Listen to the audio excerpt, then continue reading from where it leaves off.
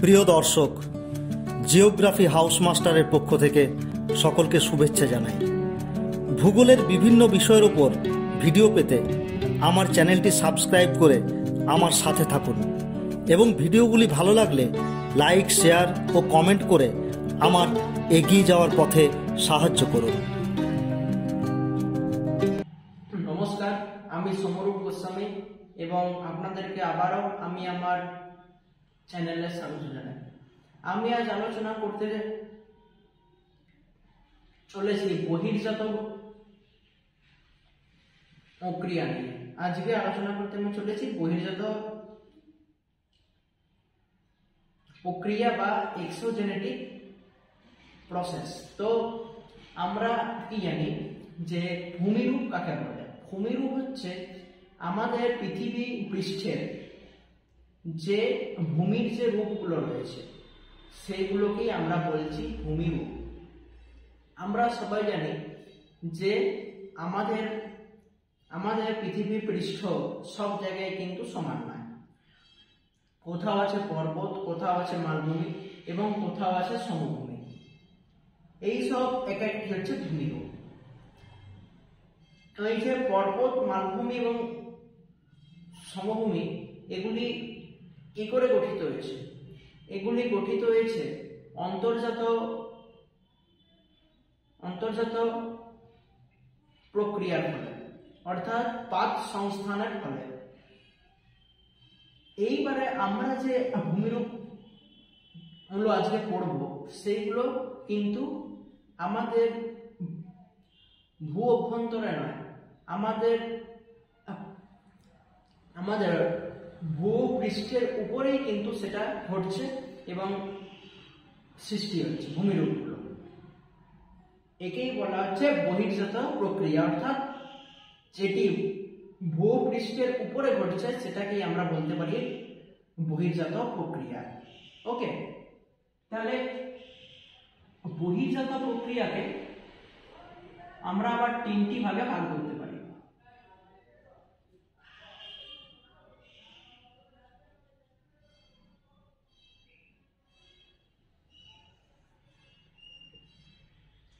হচ্ছে অবরোহণ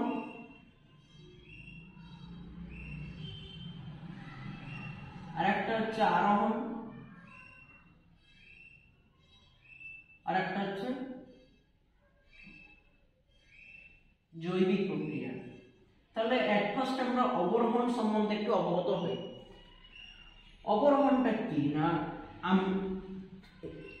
আমরা যদি দেখি আমরা যদি দেখি ভূপৃষ্ঠের মধ্যে কতকগুলি মাধ্যম আছে, যেমন ধরুন নদী, হিমবাহ এবং বায়ু।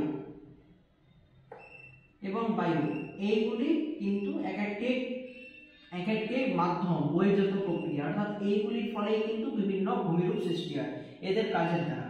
তাহলে এই যে নদী, হিমবাহ এবং বায়ু কাজের ফলে কোন স্থান, অর্থাৎ আমরা ধরে নিচ্ছি এই স্থান উপরের অংশ কিছুটা ক্ষয় পেয়ে নিচে নেমে গেল। অর্থাৎ উচ্চতা হ্রাস পেল। এই অবস্থাকে আমরা বলতে পারি অবরোহণ। অর্থাৎ অর্থাৎ কি?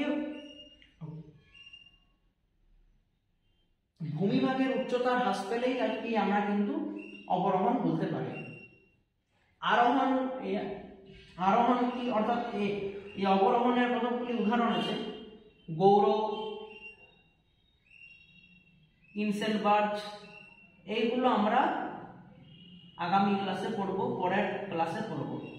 যেগুলো কি? আপাতত আপনারা উদাহরণগুলো জেনে রাখুন। এইবারে আরোহণ আরোহণ আরোহণ হচ্ছে কোনো একটি স্থান, অর্থাৎ এই স্থানটি ধরুন, এই স্থানটিতে এই যে নদী, হিমবাহ এবং বায়ুর কাজের ফলে কোনো স্থান থেকে কোনো কিছু কোনো কিছু বস্তু মাটি হতে পারে বা কোনো, এসব কিন্তু কোনো অপর কোনো অঞ্চল থেকে এইখানে সঞ্চিত হলো। এর ফলে এই স্থানের উচ্চতা কিন্তু বৃদ্ধি পেল। এর, এই ঘটনাকে বলা হচ্ছে আরোহণ, অর্থাৎ উচ্চতা উচ্চতা বৃদ্ধি পেলে তাকেই বলা হচ্ছে আরোহণ। অবরোহণটা হচ্ছে ক্ষয় আরোহণটা হচ্ছে সঞ্চয়। অর্থাৎ অপর কোনো স্থান থেকে কোনো একটা জিনিস এসে সঞ্চিত হবে। সেটা মাটি হতে পারে, শিলাখণ্ড হতে পারে ওকে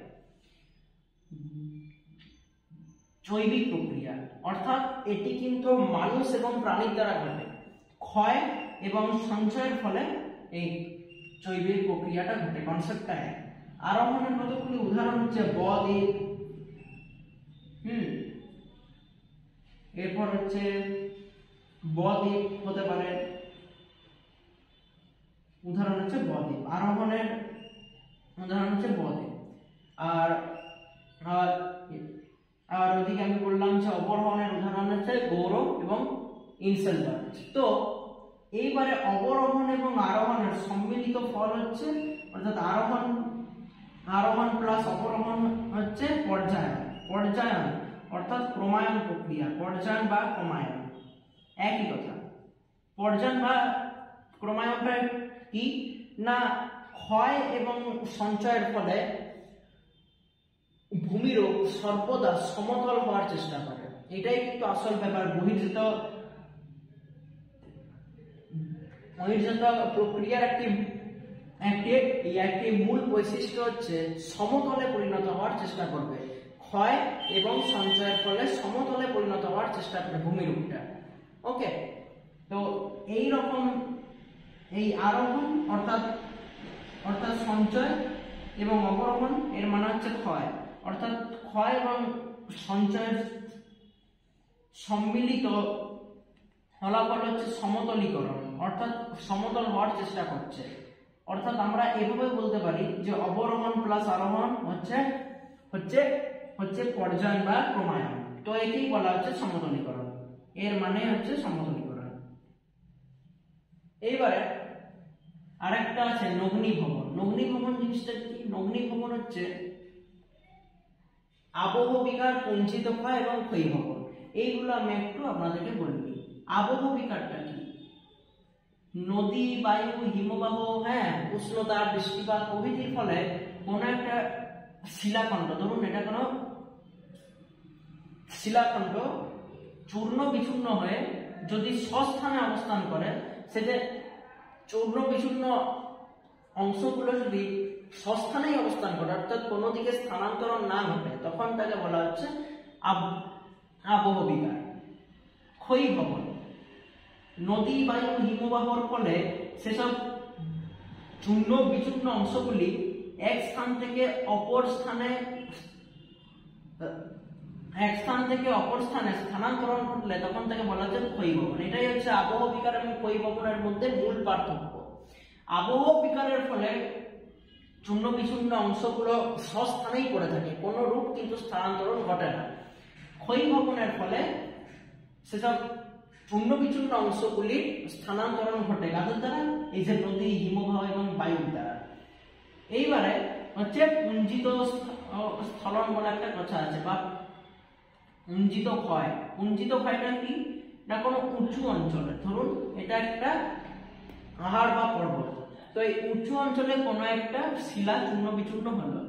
এই চূর্ণ বিচূর্ণ অংশগুলি যদি ক্ষয়ী ভবনের দ্বারা অর্থাৎ স্থানান্তরণের দ্বারা এই যে ঢালবে, পর্বতের ঢালবে যদি নিচে নেমে আসে, তখন থেকে আমরা বলতে পারি পুঞ্জিত ক্ষয়।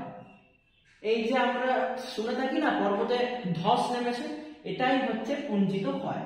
ওকে এই যে ঢাল বেয়ে নিচে নামে যাচ্ছে। এর একটা এর একটা এর একটা প্রধান হচ্ছে মাধ্যাকর্ষণ শক্তি। মাধ্যাকর্ষণ শক্তি কিন্তু পুঞ্জিত স্থলনের জন্য দায়ী। এই যে ঢাল বেয়ে নিচে নেমে যাচ্ছে, মাধ্যাকর্ষণ শক্তির ফলে কিন্তু এটা হচ্ছে। তো এই এই যে আবহ বিকার ক্ষয়ীভবন এবং পুঞ্জিত ক্ষয়ের ফলে ভূপৃষ্ঠের সামগ্রিক যে উচ্চতা হ্রাস পাচ্ছে সেটাকেই বলা হচ্ছে নগ্নিভবন অর্থাৎ অর্থাৎ ডিমিউটেশন নগ্নিভবনের ইংরেজি হচ্ছে ডিমিউটেশন তার আমরা ডিটা নিলাম তাহলে D is equal to weathering plus erosion plus mass wasting অর্থাৎ ওয়েদারিং মানে হচ্ছে আবহবিকার ইরোশন মানে হচ্ছে ক্ষয়ভবন মাস ওয়েস্টিং মানে হচ্ছে পুঞ্জিত ক্ষয় তাহলে আমরা এও বলতে পারি অগ্নিভবন ইসিক্যাল টু আবহ বিকার আবহ বিকার প্লাস ক্ষয়ভবন প্লাস পুঞ্জিত ক্ষয়। অর্থাৎ এদের সম্মিলিত ফলাফল হচ্ছে অগ্নিভবন আর আর আমি এখানে বললাম যে অবরোহণ এবং আরোহণের সম্মিলিত ফলাফল হচ্ছে পর্যায়ন। এগুলো কিন্তু অনেকেই কিন্তু খুব ভুলিয়ে ফেলে, কিন্তু এগুলো উচিত। মনে রাখা কিন্তু দরকার, শর্ট প্রশ্ন মাঝে মধ্যে